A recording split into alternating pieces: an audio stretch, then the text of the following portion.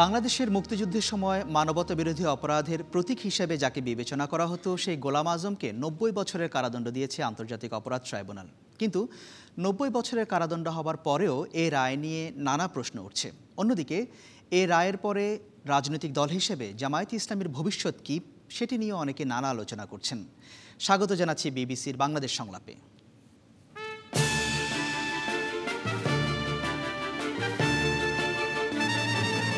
আজ প্যানেলে আছেন আইন প্রতিমন্ত্রী ও আওয়ামী লীগ নেতা কামরুল ইসলাম, বিএনপি চেয়ারপারসনের উপদেষ্টা ও সাবেক প্রতিমন্ত্রী মীর মোহাম্মদ নাসির উদ্দিন ইসলামী চিন্তাবিদ ও কলামিস্ট শাহ আব্দুল হান্নান এবং ঢাকা বিশ্ববিদ্যালয়ের গণযোগাযোগ ও সাংবাদিকতা বিভাগের অধ্যাপক ডক্টর গীতি আরানা সিং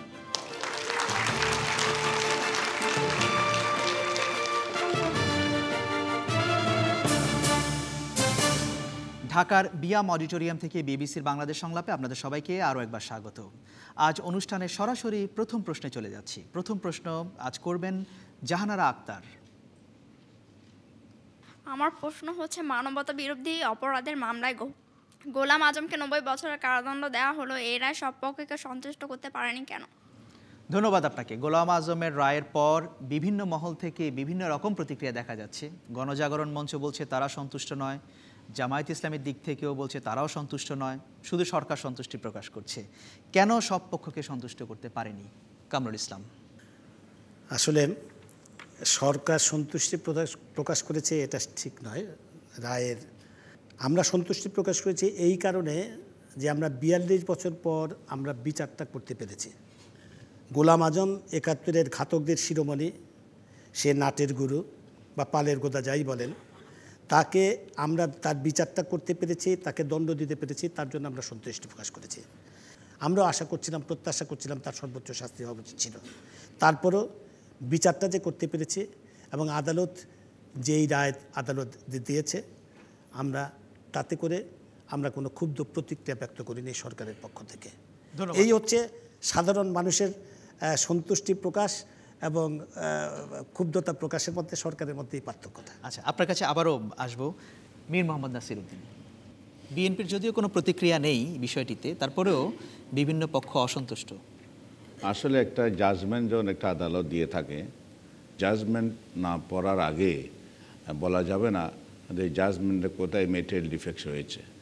তা আমরা মনে করি এই আদালত যে জাজমেন্টটা দিয়েছে সেই জাজমেন্টের কপি আমরা পাওয়ার পরে আমরা দেখব যে জাজমেন্টের কোন জায়গায় কোন অসুবিধা যদি থাকে then will give our reaction কিন্তু ধরুন আদালত যখন একটা রায় দেয় তখন তো সবাই আর রায়ের কপি পড়ে সেটা প্রতিক্রিয়া দেয় না।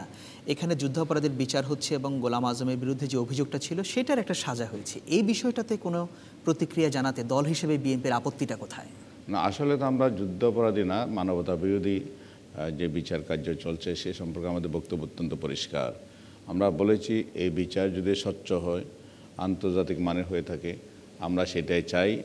এর এই বিচার যেন নির্বাচনী হাতিয়ার হিসেবে একটা প্রহসন বা লোক দেখানো বিচারের নামে কিছু লোককে রাজনৈতিকভাবে হেনস্থা করা সেটা আমরা চাই এই না যে যতগুলো রায় আসলো পাঁচটি রায় আসলো এরই মধ্যে না? তো এখানে কি স্বচ্ছতার কোনো অভাব আপনারা দেখছেন? ডেফিনেটলি আমি আপনাকে বলি আইনটা আমাদের এখানে মাননীয় আইনমন্ত্রী মহোদয় আছেন। একটা জাজমেন্ট দেওয়ার পরে যখন অ্যামেন্ডমেন্টে যায় তখন সে amendment to what extent it will be applicable for the appellant এবং সেটা একটা আইনের বিষয় রয়ে গেছে। কাদের মোল্লা জাজমেন্ট দেওয়া হলো ওনাকে যাবজ্জীবন কারাদণ্ড দেওয়া হলো। যাবজ্জীবন কারাদণ্ড দেওয়ার পরে শাহবাগীদের দাবির পরিপ্রেক্ষিতে একটা অ্যামেন্ডমেন্ট নিয়ে আসলো যে অ্যাপিল করা right to appeal by the government কিন্তু গোলাম আজমের প্রসঙ্গটাতে কি? গোলাম আজমের প্রসঙ্গ নব্বই বছরে ওনাকে কারাদণ্ড দিয়েছে। এখন গোলাম আজমের ছেলে বলছে we are not happy with the judgment will file appeal on the other hand মাননীয় প্রধানমন্ত্রী সন্তোষ সেটা তো প্রকাশ। করেছেন আইনমন্ত্রী সন্তোষ প্রকাশ করেছেন উনি সন্তোষ প্রকাশ করেছেন সেটা দুটো পার্টি রয়ে গেছে। যে আপিল যখন করবে তখন দেখা যাবে কোথায় কি মেটেরিয়াল ডিফেক্টস হয়ে গেছে এবং কোথায় ধন্যবাদ দেখি মিন্না স্যার আপনার কাছে যদি আবার আসা সম্ভব হয় দর্শকদের মতামত নিতে চাই দ্বিতীয় সারিতে আপনি। আসলে দীর্ঘদিন পরে মানবতা বিরুদ্ধে অপরাধের বিচার হচ্ছে বাংলাদেশের মুক্তিযুদ্ধে স্বাধীনতা বিরোধীরা যে অত্যাচার, নির্যাতন, নারী দর্শন, হত্যা এবং লুণ্ঠন এবং আমাদের দেশের বরণ্য বুদ্ধিজীবীদের যে হত্যা করছে এবং তার মূল নায়ক যে গোলাম আজম তার নেতৃত্বে এবং নির্দেশে এবং যে হত্যা হয়েছে, তার বিচার আমি মনে করি তার সর্বস্ব শাস্তি হওয়া উচিত ছিল এবং সেটা হয়নি বলেই বাংলাদেশের মানুষ এটাকে মেনে নিতে পারে নাই। আমি মনে করি সর্বস্ব শাস্তি, মৃত্যুদণ্ড হওয়া উচিত ছিল তার। ধন্যবাদ। অসংখ্য অসংখ্য ধন্যবাদ আপনার জি, দ্বিতীয় সারিতে, বা পাশে। গোলাম আজমের যে রায়টা হচ্ছে যে রায়টা হয়েছে আসলে সরকার সন্তুষ্টি প্রকাশ করেছে। গোলাম আজমের পক্ষে যারা আছে তাদেরও সন্তুষ্টি প্রকাশ নাই। শাহবাগী জনগণের পক্ষে যারা আছে তারা সন্তুষ্টি প্রকাশ নাই। সরকার সন্তুষ্টি প্রকাশ করেছে। তাহলে আমার প্রশ্ন হচ্ছে আমাদের আইনমন্ত্রী সাহেবের কাছে সরকার কি আপিল করবে কি না ধন্যবাদ। অসংখ্য ধন্যবাদ আপনাকে। আর কে বলতে চান বিষয়টি নিয়ে? একেবারে পেছনের সারিতে। আসলে কোনো বিচারেই উভয় পক্ষকে বিচারের রায়, উভয় পক্ষকে খুশি করা যায় না। আর যে বিষয়টা নিয়ে গোলাম আজমের বিচার করা হচ্ছে, এটা একটি রাজনৈতিক ইস্যু। কারণ আমাদের মুক্তিযুদ্ধ একটি রাজনৈতিক বিষয় ছিল, এ কথা অস্বীকার করার কোনো উপায় নেই। এবং গোলাম আজম সহ যাদেরকে গ্রেপ্তার করা হয়েছে, তারা সবাই রাজনৈতিক ব্যক্তিত্ব। সঙ্গত কারণেই যখনই এবং যত স্বচ্ছভাবেই এই বিচারটা করা হোক না কেন, তাদের পক্ষের যে শক্তি তাদের যারা ফলোয়ার্স তাদেরকে কখনোই খুশি করা যাবে না। অস- অসংখ্য ধন্যবাদ আপনাকে। এ পাশে ডান পাশে পঞ্চম সারিতে। মাননীয় প্রতিমন্ত্রী মাত্র শুরু করার সময় বলছিলেন যে গুলাম আজম মানবতা বিরোধী অপরাধের শিরোমণি। উনি যদি শিরোমণি হয়ে থাকেন তাহলে ওনার সর্বোচ্চ শাস্তি যারা যুদ্ধাপরাধীদের বিচার প্রকৃতপক্ষে চায় তারা চেয়েছিল। এই জন্যই হয়তো বা এক পক্ষ খুশি হতে পারেনি। আচ্ছা অসংখ্য অসংখ্য ধন্যবাদ। আমি আইন প্রতিমন্ত্রী আপনার কাছে আবারও আসব। তার আগে ডক্টর গীতি আসছেন। কেন এত অসন্তুষ্টি এই রায় নিয়ে? কি মনে হয় আপনার? যারা যুদ্ধের উনিশশো একাত্তরের মধ্যে দিয়ে গেছে এবং যারা পরবর্তীতে এই কথা শুনেছে এই যুদ্ধের কথা, তাদের কাছে আসলে এই যদি কেউ আর্কিটেক্ট হিসেবে চিন্তা করে থাকে কাউকে, যে চিন্তা করেছে এই যুদ্ধ বা মানবতা বিরোধী যে অপরাধগুলো যেগুলো সংগঠিত হয়েছে, যে নির্যাতন সংগঠিত হয়েছে, সেই তার তার একমাত্র মানে এক এক এক নামে যাকে রাজাকার বলে মানুষ চিন্তা করতে পারে আসলে বাংলাদেশে, তার নাম গোলাম আজম। কাজেই তার জন্য যেহেতু একটি বিচার হচ্ছে, তার জন্য সর্বোচ্চ শাস্তি মানুষ চাইবে। কেননা এটি এটি কোনো ফাঁসি দেওয়ার ব্যাপার নয়। যেমন বিভিন্ন মানুষ আমার কাছে জিজ্ঞেস করেছেন যে, বাংলাদেশের মানুষ এইভাবে ফাঁসির জন্য কথা বলছে কেন? আসলে তারা যেটা চাইছেন সেটা হচ্ছে যে, তার সর্বোচ্চ শাস্তি হোক। কাজে আমরা দেখব যে, যেভাবে চিন্তা করেছে মানুষ এবং একেবারেই অস্বীকার করার কোনো উপায় নেই যে, শাহবাগে যে আন্দোলন গঠিত হয়েছে সেটা মানুষকে আরেকবার চিন্তা করতে শিখিয়েছে। আমরা যে এখন বিভিন্ন পর্যায়ে যে ভিন্ন ধর মানে প্রত্যাশা দেখতে পাবো সেই প্রত্যাশা কিন্তু তৈরি হয়েছে এবং এই দীর্ঘদিন পরে এই এই এই এই- প্রত্যাশা থেকেই মানুষ চেয়েছে যে সাধারণ মানুষ যে তার সর্বোচ্চ শাস্তি হবে যে ন্যায় বিচারের কথা বলছেন কিন্তু সরকার বলছে যে তাকে শাস্তি দেওয়া গেছে শাস্তির আওতায় বিচারের আওতায় আনা গেছে এটাই ন্যায় বিচার। কিন্তু আবার এই যে ফাঁসির দাবির কথা আপনি বলছেন মনে কি মনে করছেন যে ফাঁসি হলেই ন্যায় বিচার। আসলে কি তাই? খুব পরিষ্কারভাবে বলতে গেলে যেটা আসলে বলতে হয় যে খুবই সত্যি কথা যে যে কারণে মানুষ আমার ধারণা যে নব্বই বছরের পরেও তার সর্বোচ্চ শাস্তি দাবি করছে, তার সবচেয়ে বড় কারণ বোধ হয় যে আমরা বিশ্বাস করতে পারি না যে শেষ পর্যন্ত শাস্তি বিধান সম্ভব হবে কি না? মানে কার্যকরী হবে কি না? এবং এটা যদি মানুষ বিশ্বাস না করে থাকে তাতে আশ্চর্য না হওয়ার কিছু নেই কেননা আমাদের প্রায় সাড়ে সাতশো বা তার বেশি আট তো পঁচাত্তরের আগে যাদের যাদেরকে দণ্ড দেওয়া হয়েছিল যুদ্ধাপরাধে তারা দণ্ড থেকে মুক্তি গোলাম পেয়ে সন্দেহটা আপনি কেন করছেন? বা মানুষ কেন এটা করছে বলে আপনার মনে হয় যে প্রথমত মানুষ এই সন্দেহটি করছে যে যেহেতু এতদিন বিচার করা যায়নি তাই, তারপরে আমরা দেখব যে বিভিন্ন ধরনের ইন্টারেস্ট গ্রুপ আছে গোলাম আজমের সমর্থক গোষ্ঠী আছে, বা এছাড়া তো নানা ধরনের আপনার আপনি, আমি যদি জনগণের কাছ থেকে যেটা শুনতে পাই যে নানা ধরনের গুজব আছে, বিভিন্ন জায়গায় লবিং করা হচ্ছে, টাকা পয়সা দেওয়া হচ্ছে বা কোনো আহ, কোনো বিদেশি দূতাবাসে বিভিন্ন দল একসাথে মিলে বৈঠক করেছেন এ ধরনের গুজব কিন্তু বা সত্য কথা বা সংবাদ মাধ্যমে প্রচারিত সংবাদ এখন চারদিকে আছে। এই সন্দেহ না বলছেন। ধন্যবাদ আপনাকে শাহ আব্দুল হান্নান। গোলাম আজমের রায় মানুষ ঠিক সন্তুষ্ট হতে পারছে না অনেকে এ হোল বিষয়টা বলব যে আন্তর্জাতিক যে আইসিটি যেটা ইন্টারন্যাশনাল ক্রাইমস ট্রাইব্যুনাল এটা আন্তর্জাতিক মানের নয়। সারা দুনিয়া United States UK lawyers legal bodies European Union legal bodies সারা দুনিয়ার কোনো একটি গোষ্ঠী বলে নাই যেটা আন্তর্জাতিক মানের। শুধু বাংলাদেশের কিছু লোক বলেছে বা অনেক লোক বলেছে। যে ট্রাইব্যুনাল আন্তর্জাতিক মানের নয় অ্যাকর্ডিং টু দি ওয়ার্ল্ড তার কোনো বিচারেই অ্যাবাউট করছেন না অ্যাবাব করছেন না। এই সবই প্রশ্নবিদ্ধ। এই সকল বিচার শুধু গোলাম আজমের নয়, সবার বিচার প্রশ্নবিদ্ধ। তবে আমি আশা করি অ্যাপেলের ডিভিশন সুবিচার করবেন। আপনি বলছেন আন্তর্জাতিক মানের নয়। ঠিক কোন আমি বলছি না। না ঠিক কোন বিষয়গুলো কোন বিষয়গুলো কোন বিষয়গুলো থাকলে আন্তর্জাতিক মানের হবে? আমি আমি তাও জানি না। আমি যেটা জানি আমি টবি ক্যাডম্যান না। আমি ইউরোপিয়ান ইউনিয়ন কমিশনের না। আমি মানে হিউম্যান রাইটস কমিশন না। আমি অ্যামনেস্টি ইন্টারন্যাশনাল না। কিন্তু আমি এইটা জানি যে সারা বিশ্ব বলছে যে এটা আন্তর্জাতিক মানের নয়। বাংলাদেশের বাইরে কোনো একটা জায়গা থেকে বলা হয় না এটা আন্তর্জাতিক মানের।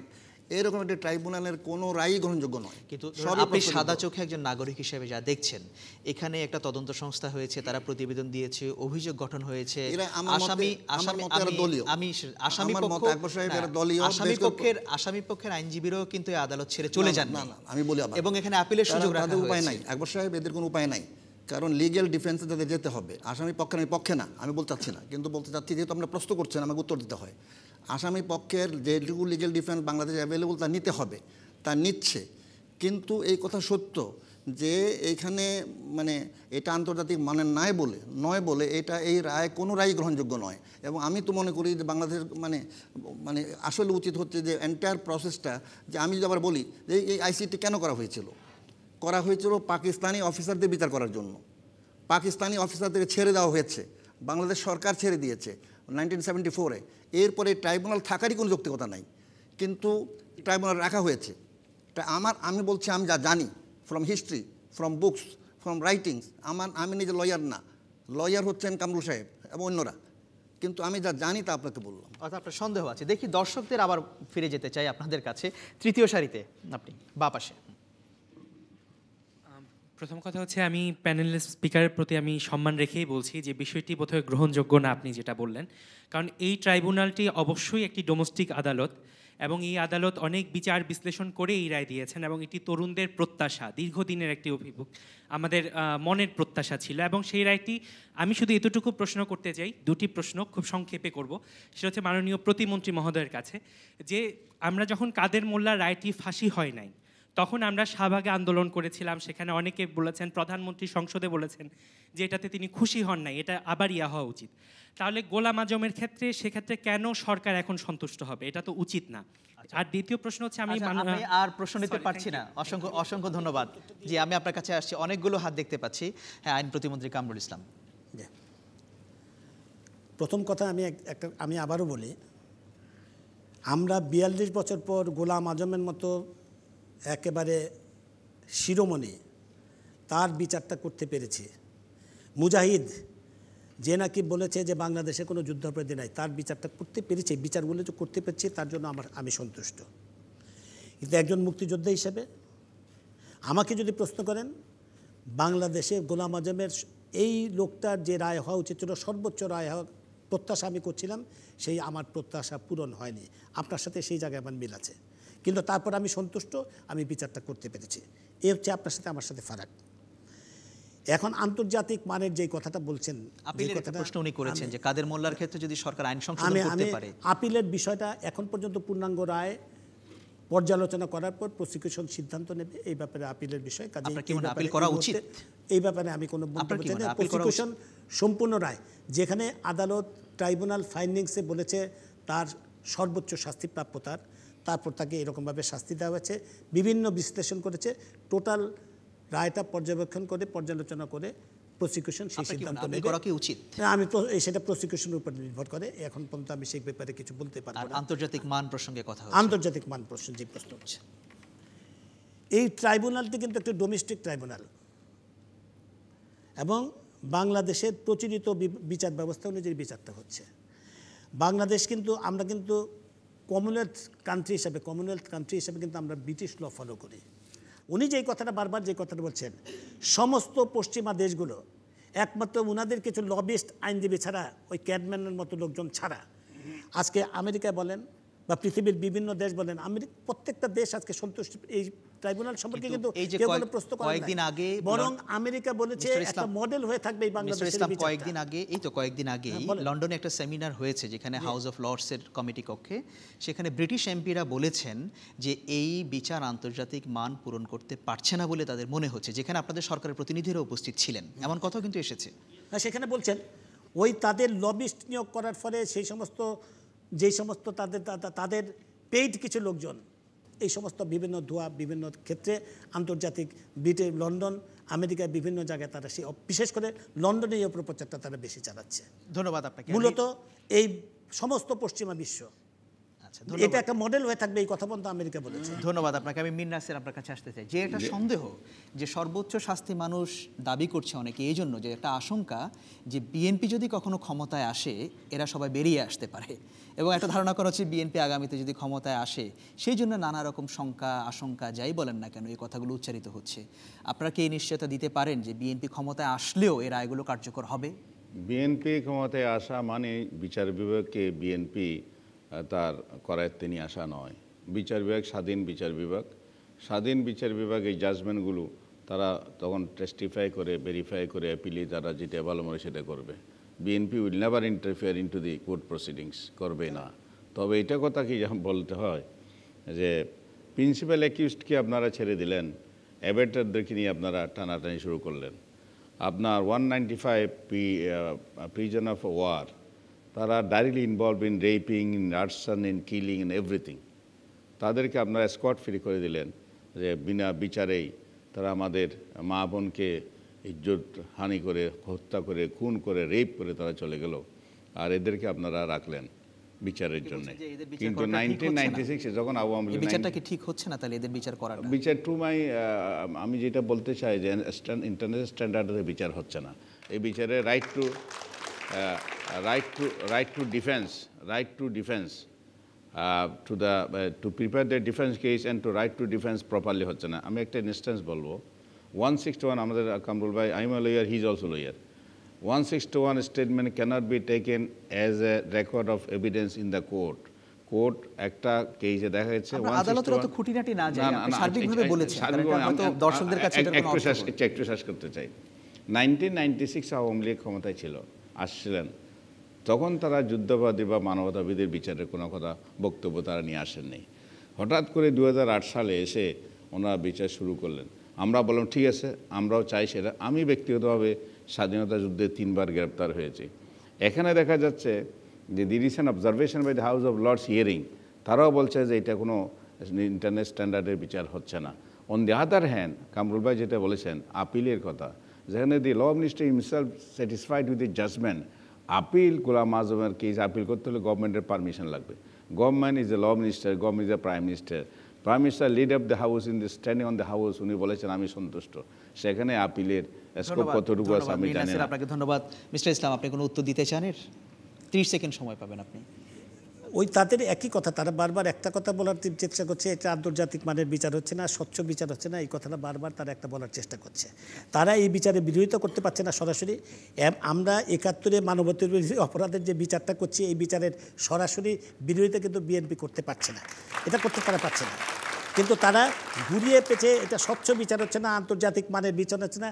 এই কথা বলেই বিচারটাকে একটা প্রস্তাবিত করার চেষ্টা তাদের করছে এটা তাদের একটা মানে অভ্যাসে দাঁড়িয়ে ধন্যবাদ মিস্টার ইসলাম আপনাকে।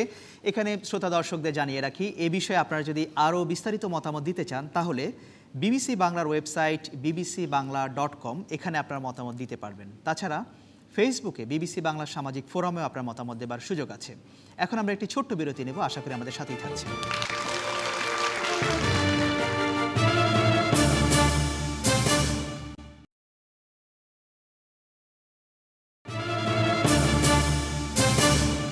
বিরতির পর আবারও ফিরে এলাম। আপনারা দেখছেন বিবিসির বাংলাদেশ সংলাপ। সাথে থাকার জন্য আপনাদের অসংখ্য ধন্যবাদ। এবারে পরের প্রশ্নে যাব। পরের প্রশ্ন করবেন খালেদ ইমরান। সম্প্রতি আইসিটির একটি রায়ে খুব স্পষ্ট করে বলা হয়েছে যে জামায়াতে ইসলাম একটি অপরাধী সংগঠন। তো এখন এই রায়ের এই বক্তব্যের পরে জামায়াতের ভবিষ্যৎটা কীরকম দাঁড়াবে? ধন্যবাদ আপনাকে। পরপর দুটো রায়ে এই ধরনের একটা পর্যবেক্ষণ এসেছে সেই প্রেক্ষাপটে আপনার এই প্রশ্ন। শাহ আব্দুল হান্নান জামাতের রাজনৈতিক ভবিষ্যৎ কী দাঁড়াবে? মত with respect to the tribunal কোনো রাজনৈতিক পর্যবেক্ষণ তাদের দেওয়া ঠিক নয়। কোর্টের কোনো রাজনৈতিক পর্যবেক্ষণ দেওয়া ঠিক নয় তারা দিয়েছেন। আর জামা ইসলামী সম্পর্কে আমার মত হচ্ছে যে আমি জামা ইসলামীকে বাংলাদেশের একটা বড় পার্টি যেটা সেভেন্টি এইট থেকে কার্যকরী আছে প্রত্যেক পার্লামেন্টের সদস্য আছে এরা স্ট্রাইক করলে তাদের দেড়শো লোক হারা মারা যায় আর অন্যদের হয়তো কিছু লোক মারা যায় কিছু গাড়ি ভাঙচুর হয়। সুতরাং এই যদি সন্ত্রাসী বলা হয় তাহলে ছাত্রলীগ আরও বড় সন্ত্রাসী। একশো তিরানব্বই দিন হরতাল করছিল একটি দল তারা আরও বড় সন্ত্রাসী। তাহলে আমার মনে হয় জামাত ইসলামকে ব্যান করার কোনো সুযোগ নাই।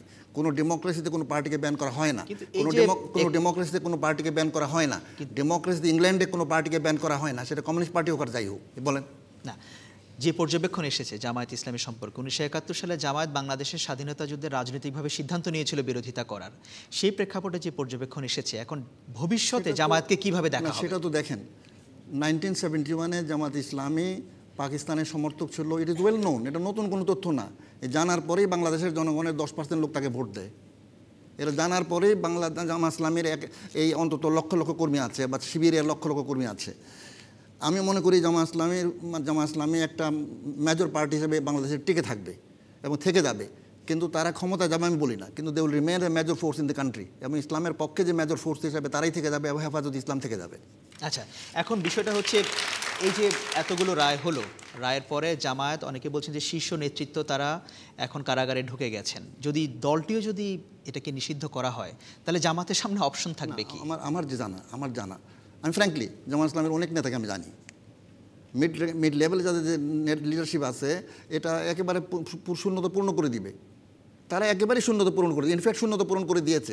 যদি তাদের সেন্ট্রাল অফিস বন্ধ না থাকতো বাই দি গভর্নমেন্ট যদি ঢাকা অফিস বন্ধ না থাকতো তারা যদি সাংবাদিক সম্মেলন করতে পারতো তারা ইজিলি কাজ করতে পারতো কিন্তু আপনি করতে পারছেন না। তাহলে আপনি জামায়াতের ভবিষ্যৎ নিয়ে কোনো আশঙ্কা দেখছেন আমি কোনো আশঙ্কা করছি না। যদি করা হয় এটা আইন বিরোধী করা হবে। যদি কোনো সরকার যে কোনো সরকার হোক তারা যদি করে তাহলে তারা অন্যায় করবে। ধন্যবাদ আপনাকে। আমি আপনার কাছে আসব ডক্টর গীতি আমি জামায়াতের রাজনৈতিক ভবিষ্যৎ নিয়ে রাজ জামায়াতের রাজনৈতিক ভবিষ্যৎ যদি ধর্মের ভিত্তিতে জামায়াত জামায়াত যে এটা করে থাকে আহ, সেটা ধর্মের ভিত্তিতে করা আসলে কঠিন হয়ে যেত। যে যেমনটি উনি দাবি করছেন যে সমস্ত জামায়াত কি সমস্ত মুসলিম মানুষের রিপ্রেজেন্ট করে তা তো না। বা ইসলামিক বিশ্বাসের রিপ্রেজেন্টেশন শুধুমাত্র জামায়াত আর হেফাজত করে সমস্ত মুসলমান মানুষের, তা তো আর না। অর্থাৎ জামায়াত ধর্মকে রাজনীতির জন্য ব্যবহার করছে। এখন এই যে এই ব্যবহার করাটা, এটার এটার এটার আসলে নৈতিক ভিত্তি না। এটা রাজনীতিক, রাজনৈতিকভাবেই শুধু ভিত্তি পেতে পারে এই এই এই মুহূর্তে। এখনও পর্যন্ত আমি মনে করি না যে লক্ষ লক্ষ কর্মী আছে, জামাত যেভাবে কাজ করে, সেটা হচ্ছে বিভিন্ন জায়গায় সন্ত্রাস তৈরি করে এবং জামাত যেভাবে কাজ করে, সেটা হচ্ছে যে আমাদের আমাদের অন্যান্য বড় যেগুলি দল, আমাদের যে রাজনৈতিক দলগুলি আছে, তাদের ছত্রছায়ায়। কাজে আমাদের যে রাজনৈতিক দল, যেগুলি বড় রাজনৈতিক দল, জামাতকে আমি এখনও পর্যন্ত মনে করি যে কিছু খুচরো সন্ত্রাসী কাজ করে তারা। ভয় দেখিয়ে একটা শক্তি অর্জন করার চেষ্টা করে। আমাদের বড় রাজনৈতিক দলগুলির আশ্রয় এবং প্রশ্রয়ে তাদের পক্ষে শক্তি অর্জন করা সম্ভব। ভবিষ্যৎটা কি দাঁড়াচ্ছে? তাহলে ভবিষ্যৎটা এটাই দাঁড়াচ্ছে যে আমাদের রাজনৈতিক দল তারা যদি সিদ্ধান্ত নেন যে তারা জামাতকে আশ্রয় দেবেন তাহলে জামাত টিকে থাকবে। অর্থাৎ আমি বলছি যে জামাতকে রাজনৈতিকভাবে শক্তিশালী করছে আমাদের বড় রাজনৈতিক দলগুলো সেই রাজনৈতিক ভিত্তি আমি মনে করি না জামাতের আছে বা সেই ক্রেডিবিলিওটা জামাতের আছে। সেটা তাদেরকে দিচ্ছে আমাদের রাজনৈতিক দল। ধন্যবাদ আপনাকে। দেখি দর্শকদের মতামত নিব। বা পাশে আপনি।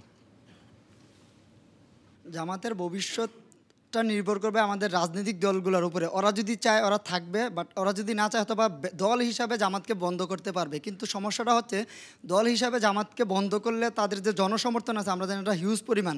ওরা যদি সন্ত্রাসী বা পশ্চিমবঙ্গের মত মানে ভারতের যে রাজ্যগুলোর মতো যদি ওরা গোপনে গিয়ে সন্ত্রাসী সংগঠন হিসাবে দাঁড়ায়, তখন আমাদের দেশ একটা গৃহযুদ্ধের দিকে এবং আরও অনেক পিছনে চলে যাবে। ধন্যবাদ আপনাকে। অসংখ্য ধন্যবাদ। সামনের সারিতে আপনি।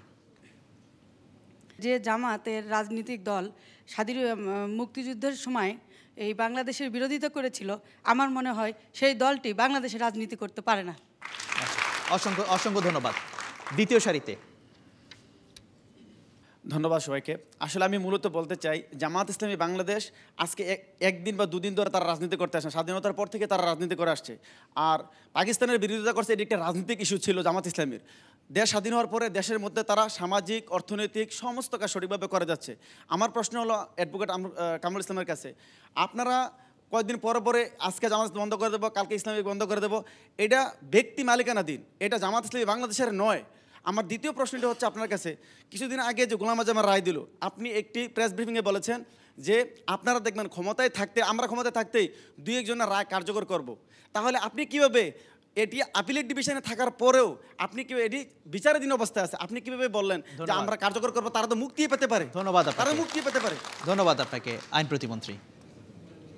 আপনার কাছে প্রশ্নটি এসেছিল যে আপনি কীভাবে বললেন যে সরকার কার্যকরী করে যাবে? এটা এই কনফিডেন্সটা কীভাবে? আমরা, আমি যেই কথাটা সবসময় বলে থাকি এখনও বলছি, একাত্তরের ঘাতকদের বিচার করাটা আমাদের নির্বাচনী অঙ্গী- অঙ্গীকার। আমরা এই পর্যন্ত ছয়জনের বিচার কার্য শেষ করতে পেরেছে। আরও কয়েকজনের বিচার কাজ আমরা ইনশাল্লাহ শেষ করতে পারব, আশা করছি। বিচার কাজ শেষ করতে পারব, রায় না, বিচার কাজ শেষ করতে পারব। নিষ্পত্তি এবং আমরা ইনশাল্লাহ এই সরকারের মেয়াদকালের মধ্যেই দু একটি আপিল নিষ্পত্তি করতে পারব। আশা করছি। এটা হচ্ছে আমার আপিল নিষ্পত্তি করতে পারব বিচার শেষ করতে পারব। রায় কি হবে সেটা আদালত কার্যকরী প্রশ্নটা যেটা আপিল নিষ্পত্তি করতে পারলেই তো কার্যকরী হয়ে যাবে সেটা সেটা ঝুলবে না করেই তো কার্যকরী আচ্ছা এখন জামায়াতের রাজনৈতিক ভবিষ্যৎ নিয়ে কথা উঠেছে যে দুটো রাজনৈতিক ভবিষ্যৎ জামাতের রাজনৈতিক। জামাতের আমরা দুটি মামলাতেই জামাতের ব্যাপারে একটা ফাইন্ডিংস দিয়েছে আদালতের কিছু ফাইন্ডিংস আছে। এই মামলার ক্ষেত্রে আমরা লক্ষ্য করেছি আমরা যতটুকু দেখেছি এখন পর্যন্ত পুরো রায়টা আমি আমি শেষ করতে পারিনি পরে। যে কথাটা বলা হয়েছে যে মূল আর্কিটেক্ট একাত্তরের গণহত্যা বলেন বুদ্ধিজীবী হত্যা বলেন সমস্ত কিছুর মূল আর্কিটেক্ট হচ্ছে তারা গোলাম আজম এবং তারা। এবং পরবর্তীতে তারা আবার পরবর্তী সরকার যখন বঙ্গবন্ধুকে হত্যা করার পর যে সরকার ক্ষমতা এসেছে। তারা তাদের সময় তারা আবার রাজনৈতিক ভবিষ্যৎটা কি? ভবিষ্যৎ আজকে আদালতের যে ফাইন্ডিংস জামাতের বিষয়ে অবশ্যই আমাদেরকে চিন্তা করতে হবে জামাতের বিষয়ে এবং আদালত যেভাবে ফাইন্ডিংসগুলো দিয়েছে অতীতে আমরা বিভিন্ন দেশের যুদ্ধবিদ্যের বিচার যেখানে আমরা দেখেছি নাৎসি পার্টিকেও ব্যান করা হয়েছে। কাজেই আজকে যে ফাইন্ডিংস আদালতের এসছে তা পর্যালোচনা করে জামাতের বিরুদ্ধে অবশ্যই সরকারের একটা সিদ্ধান্ত যথাসময়ে এই সিদ্ধান্ত আসবে বলে সেই সময়টা কবে? যথাসময়ে সিদ্ধান্ত আমি আবারও বলছি জামাতের বিষয়ে সরকার যথাসময়ে সঠিক সিদ্ধান্ত সঠিক। সিদ্ধান্তটা কি? নিষিদ্ধ করা? নিষিদ্ধ see। সেটা কি আপনি সরাসরি বলতে চাচ্ছেন? সরাসরি বলছি যে জামাতের বিষয়ে সরকারকে সঠিক সিদ্ধান্ত নিতে হবে।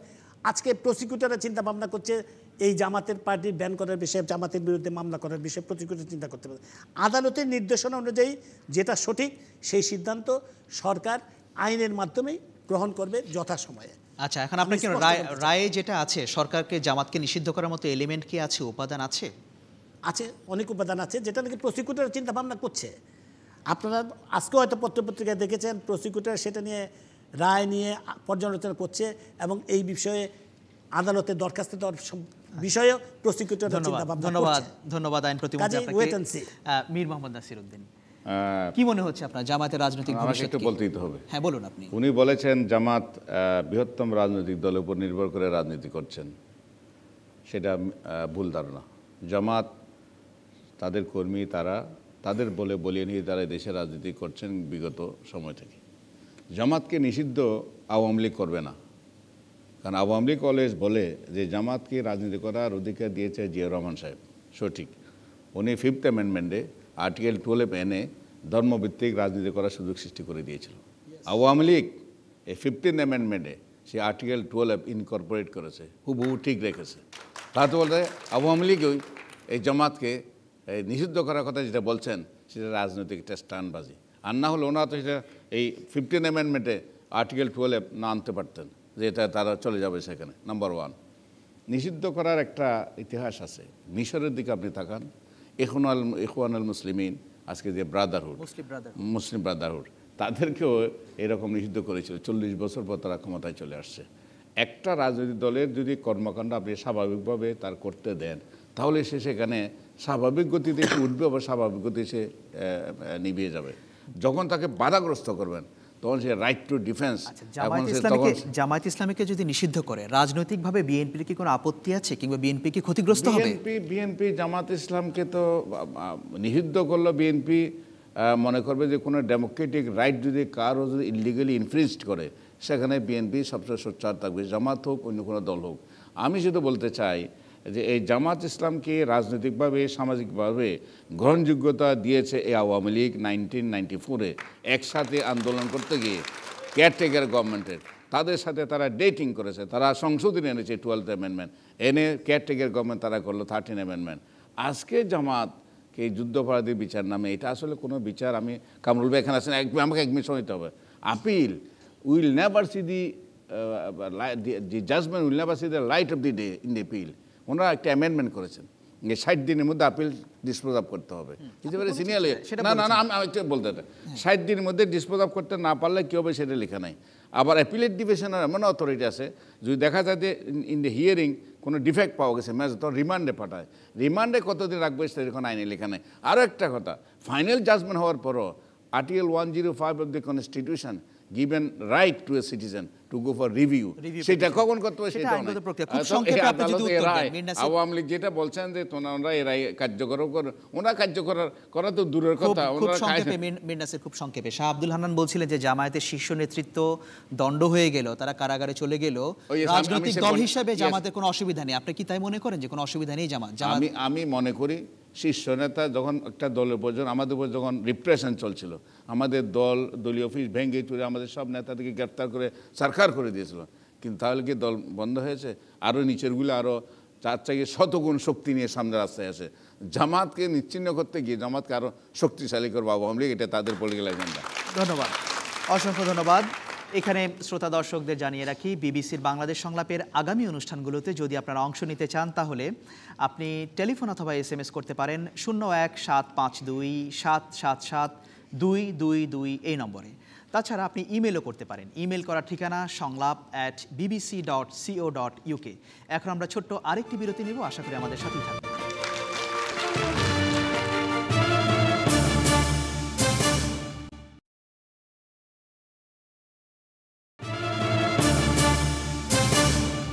বিরতির পর আবারও ফিরে এলাম। আপনারা দেখছেন বিবিসির বাংলাদেশ সংলাপ। সাথে থাকার জন্য অসংখ্য ধন্যবাদ আপনাদের। এবারে পরের প্রশ্নে যাব। পরের প্রশ্ন করবেন আতিকা তাসনিম। আমার প্রশ্ন হচ্ছে আল্লামা আহমেদ শফি নারীদের সম্বন্ধে যেসব মন্তব্য করেছেন তা এর জন্য কি তার বিরুদ্ধে কোনো সরকারিভাবে ব্যবস্থা নেওয়া উচিত কিনা? আপনার কি মনে হয়? আমার তো মনে হয় নেওয়া উচিত। কারণ উনি যেসব কথা বলেছেন এগুলো তো অবশ্যই না নারীদের ক্ষোভ প্রকাশ করা উচিত এবং সবাই করছে। সো সরকারিভাবেও যদি পদক্ষেপ নেওয়া হয় তাহলে আমরা সন্তুষ্ট। ধন্যবাদ আপনাকে ডক্টর গীতি গীতিয়া রানাশ্রীন তার বিরুদ্ধে কি সরকারিভাবে ব্যবস্থা নেওয়া উচিত? উনি যে প্রশ্ন করছেন। সরকারিভাবে ব্যবস্থা বা সরকারকে চিন্তা করেই নিতে হবে। কিন্তু সরকার যদি ব্যবস্থা নেন তাহলে আসলেই সরকার যেটা করবেন যে উনি উত্তর দিতে পারবেন যেটা অ্যাড্রেস করবেন, যেটা সাধারণ অনেক অনেক নারী যেটা চাইছে। আসলে সরকারিভাবে আমার আমার মতে যে শুধুমাত্র এক, একজন শফির বিরুদ্ধে ব্যবস্থা নেওয়া, আই, যথেষ্ট নয়। কারণ আমি মনে করি না যে মাওলানা শফি একজন মাত্র মানুষ। উনি যেই কথাটা বলেছেন, সেটি আসলে এই আহমেদ শফি যে কথাটি বলেছেন, সেটা কিন্তু বিভিন্ন জায়গায় দীর্ঘদিন ধরে বলা হয়। এবং সেই বিষয়গুলির দিকে সরকার নজর আনবেন বলে মনে করি। এই জন্য যে আমরা আমরা দেখব যে এই যে, এই এই যে ওয়াজ বা এই ধরনের ধর্মীয় বচনের ক্ষেত্রে অনেক ক্ষেত্রে যে কোরআন শরীফের অনেক মূল কথার বদলে যে, যেমন ধরা যাক যে যে মৌলানা শফির যে কথাটা নিয়ে প্রচণ্ড প্রচণ্ড বিতর্ক হচ্ছে, সেটা হচ্ছে যে উনি যেভাবে অশ্লীলভাবে উপস্থাপন করছেন যে নারীকে দেখলেই পুরুষের জীব লালা শিখতে হবে, এই জন্য সব নারীকে ঘরে চলে যেতে হবে, পড়াশুনো বন্ধ করে রাখতে হবে ক্লাস ফোরের বেশি পড়া যাবে না। কিন্তু কোরআন শরীফে আবার কিন্তু পুরুষকেও চোখের পর্দা করতে বলা হয়েছে, বা নারীর সম্পর্কে গিবত না করতে বলা হয়েছে তার ভয়ঙ্কর শাস্তি হবে এ কথা বলা হয়েছে তো তার তার মানে আমরা দেখব যে এই যে সঠিক যে ধর্মের শিক্ষা, সেটা যে সাধারণ মানুষের কাছে যাচ্ছে না, সেই জিনিসগুলিও দেখা সরকারের দায়িত্ব। এবং সেই সাথে, একই সাথে আরও একটা যোগ করে রাখি আমি যে আমাদের শিক্ষা ব্যবস্থা যে ভিন্ন ভিন্ন ধরনের আছে আমাদের কাছে বলেন এই যে শফি সাহেব যেটা বলেছেন সেটা ভয়ঙ্কর রকম লাগছে আজকে আমাদের কানে। কেন? কেন? উনি কিন্তু দীর্ঘদিন ধরে গ্রামে এই কথা বলছেন। তার মানে হচ্ছে যে বা ওনার মতো আরও অনেক মানুষ কিন্তু এই ধরনের কথাই বলে খুব সংক্ষেপে গীতা রানা হ্যাঁ। আপনি একটি প্রশ্ন যদি উত্তর দেন যে বলছেন যে শফি সাহেব যে কথা বলেছেন গ্রামাঞ্চলে এই ধরনের কথা অনেকদিন ধরে অনেকেই বলা বলেন হয়তো থাকে। ওয়াজে। কিন্তু অনেকেই বলছেন যে শফির এই বক্তব্যকে নিয়ে খুব বেশি রাজনীতি করা হচ্ছে। যদি আগে এই ধরনের কথা থাকবে তাহলে এখন এটা নিয়ে এত মাতামাতির কি আছে? সেটা অনেকে বলছেন। আপনার কি মনে হয়? আমার মনে হয় যে মাতামাতির প্রশ্ন যদি আসে, সেটা হচ্ছে আমার মনে হয় যে হঠাৎ করে এটা এসে খুবই শকিং মনে হয়েছে মানুষের কাছে এবং হঠাৎ করেই মানুষ খুব রিয়্যাক্ট করছেন। আমি যেই কথাটা বলতে চাচ্ছি সেটা হচ্ছে যে আমাদের যে যে শিক্ষা ব্যবস্থার ভিন্নতা চালু আছে, যে আপনি মাদ্রাসা শিক্ষা কওমি মাদ্রাসা রেখে এবং এই ধরনের সাধারণ মানুষকে এই ধরনের জায়গায় রেখে শুধুমাত্র এই মানে পুরোটা জায়গায় পরিবর্তন না এনে শফি শফি সাহেব যেটা বলেছেন, সেটা যেহেতু আমরা শুনেছি এবং এটি ভয়ঙ্কর উন্নয়ন বিরোধী কথা এবং সেটা অ্যাড্রেস করা যেতে পারে কিন্তু তার সাথে একই সাথে অ্যাড্রেস করতে হবে যে যে পরিবেশটা এবং সমস্ত ধন্যবাদ। অসংখ্য ধন্যবাদ গীতা রানা শ্রী মীর মোহাম্মদ নাসির উদ্দিন। আসলে আমি পত্রিকা দেখলাম উনি তো এগুলি ডিজন করেছে। না উনি ডিজন করেন না, উনি আজকে একটি পত্রিকায় সাক্ষাৎকার আছেন সাক্ষাৎকার এটা উনি বলেছেন। যে আমেরিকান একজন মেডিকেল সায়েন্টিস্ট উনি বলছেন এটা বিজ্ঞানসম্মত। বিজ্ঞানসম্মত এটা সেটা উনি। আমি ওইদিকে যেতে চাচ্ছি না কারণ আমার এই সম্পর্কে I am not aware of it but যারা আজকে যে সরকারের কাছে দাবি করছেন যে তাদের বিচারের জন্য, সেই সরকার কিন্তু হেফাজ ইসলামের কাছে ভোটের জন্য ঘরে ঘরে গিয়েছে। এই হেফাজতের কাছে তারা ভোট চাইতে গেছে। হেফাজতে রাজাকার হয়, তাহলে তারা ভোট চাইতে কেন গেল? গাজীপুরে দেখেছি তোফাইল ভাই হেফাজতকে নিয়ে ভোট চাইছে। তো অতএব আমি শুধু পরিষ্কারভাবে বলতে চাই, এই আওয়ামী লীগ এই ভোটে যে যুদ্ধপাতিকে মানবতাবাদী রায়টা এগুলি এই রায়ের বোঝাটা অন্য দলের উপর চাপিয়ে দিয়ে ওনারা চলে যেতে খুব সংক্ষেপে যদি বলেন তার বিরুদ্ধে কি সরকারিভাবে ব্যবস্থা নেওয়া উচিত? উনি যে প্রশ্নটা করেছেন একেবারে টু দ্য পয়েন্ট না মা এক একজনের বাক স্বাধীনতা তার অধিকার আছে। যদি সে বাক স্বাধীনতা করতে গিয়ে যদি সে কোনো জন- কোনো- জন তার ভায়োলেশন হয়ে থাকে হিউম্যান রাইটস ভায়োলেশন হয়ে থাকে সে সরকার ক্যান ইনিশিয়েট অ্যাকশন কিন্তু আমি আপনাদেরকে বলছি সরকার ফর ভোট ভোট পলিটিক্সের জন্য এদেরকে এদের বিরুদ্ধে কোনো অ্যাকশন তারা যাবে না। রায়টা আমাদের উপর চাপিয়ে দেওয়ার জন্য চলে যেতে ধন্যবাদ। দেখি সামনের সারিতে আপনি হাত তুলেছেন। মাওলানা শফি যে কথা বলেছে, আমাদের নারী জাগরণের বিপক্ষে যে কথা বলেছে, আমাদের নারীকুল, আমরা যারা বোনের জাতি, মায়ের জাতি, আমরা যাদের পেট থেকে আমরা জন্মিয়েছি, আর যাদেরকে আমরা মা ডাকি, যাদেরকে বোন ডাকি, আমার সন্তান যাদেরকে ভাবি, আমি মেয়ে সন্তানকে ভাবি, সেই জাতিকে নিয়ে এত বড় যে একটা কথা বলেছে, অবশ্যই তার বিচার হওয়া উচিত, বাংলাদেশের প্রচলিত আইনে, আমি কথাটা শেষ করছি। আমার রাষ্ট্রনায়ক জননেত্রী শেখ হাসিনা সেদিন বলেছেন, আসলে এই ধরনের কথা যারা বলবে, তাদেরকে আইনের আওতায় এনে তাদেরকে বিচার করা উচিত। এরা জনগণের দাবি বলে আমি মনে করি। ধন্যবাদ। দ্বিতীয় সারিতে আপনি দ্বিতীয় সারিতে। আল্লামা শফি সাহেব নারীদের ব্যাপারে কি বলেছে এটা উনি অস্বীকার করছে। আজকের পত্রিকায় যে বলছে বিজ্ঞানসম্মত উনি সেটা একটা অস্বীকার করেননি। বিশ্ববিদ্যালয় শিকাগো বিশ্ববিদ্যালয়ের একটা উদ্ধৃতি দিয়ে তিনি উপমা দিয়েছে। তো যাই হোক ওনার বিচার হওয়া উচিত কি উচিত না উনি দীর্ঘদিন অনেক দুই তিন বছর ওয়াজ মাহফিল করে না। এর আগে কি করছে, না করছে, এটা উনি বলতেছে, উনি নিশ্চিত জানা নাই। তা আমার প্রশ্ন হচ্ছে এই, যে এই বিষয়টা হঠাৎ বাংলাদেশ পার্লামেন্টের মধ্যে প্রচার প্রসার করছে আমাদের প্রাইম মিনিস্টার থেকে নিয়ে সকলেই। ওনার বিচারের প্রশ্ন যদি আসে, বাংলাদেশ পার্লামেন্টের মধ্যে আমাদের প্রাইম মিনিস্টারের চেয়ারের চার চেয়ার পরে মুতিয়া চৌধুরী রংপুরের নারীদের ব্যাপারে জাতীয় পার্লামেন্টের মধ্যে দাঁড়িয়ে যেভাবে বলছে যে নারীরা বাতের জন্য পতিতা হয়েছে অতএব এর জন্য পার্লামেন্টে দাঁড়িয়ে কথাটা বলছে এর জন্য কেমন বিচার হওয়া উচিত? আমি তো মনে করি এর জন্য শক্ত একটা বিচার হওয়া উচিত। অসংখ্য অসংখ্য ধন্যবাদ আপনাকে। মাঝখানে। আমার কাছে যেটা মনে হয় সেটা হচ্ছে বাংলাদেশের যে প্রান্তিক জনগোষ্ঠী প্রান্তিক জনগোষ্ঠীর কাছে ধর্ম ব্যাপারটা এখনও অনেক আবেগী একটা ইস্যু যে কারণে এখন এটা আল্লামা শফির যে বক্তব্য এটা টোটালটা হচ্ছে একটা মিডিয়ার তৈরি একটা হাইপ। এটা কিছুদিন ধরে একটা হাইপ হয়ে থাকবে কয়েকদিন পরে এটা ধামাচাপা পড়ে যাবে এবং এখন কয়েকদিন রাজনৈতিক দলগুলো এই ইস্যু নিয়ে আলোচনা করবে কয়েকদিন পরে এটা আগের মতো আবার ধামাচাপা অসংখ্য ধন্যবাদ আপনাদেরকে শাহ আব্দুল হান্নান। আমি একটু বলব যে আল্লামা শফি রিয়েল প্রতিষ্ঠান হচ্ছে হেফাজতের তেরো দফা। এই তেরো দফার মধ্যে নারী বিরোধী কিচ্ছু নাই। চার নম্বর দফায় যে নারী নারীদের বিষয়টা বলা আছে। এবং তারপরে তারা এক্সপ্লেন করছে নারী উন্নয়ন নীতি বাতিল করার কথা বলা হয়েছে। সেটা কি নারী বিরোধী নয়? নারী উন্নয়ন আমি স্পেসিফিক না আগে আমি মূল কথাটা বলি তেরো দফাতে নারী বিরোধী কিছু নাই। তেরো দফার মধ্যে নারী বিধান নাই তার চার নম্বর তার নারীদের কথা পক্ষে বলা হয়েছে। তারপরে তারা এক্সপ্লেন করেছে যে নারীরা শিক্ষাও করবে নারীরা চাকরিও করবে তবে তিনি শালীনতার কথা বলছেন। একজন আলেমের পক্ষে বা আলেমদের পক্ষে শালীনতার কথা বলা তো অতি স্বাভাবিক। কোরআনই তো হিজাবের কথা বলছে। কোরআনই তো স্বাধীনতার কথা বলছে। তো একজন আলেমকে এই কথা বলবেন নাকি যে তোমরা মানে হিসাব হিসাব করো না? আমার মনে হয় যে আল্লামা শফির এই যে বিবৃতিটা আমি ইন্টারনেটে দেখতেছি যে এটা কিছু ডক্টরিং হতে পারে।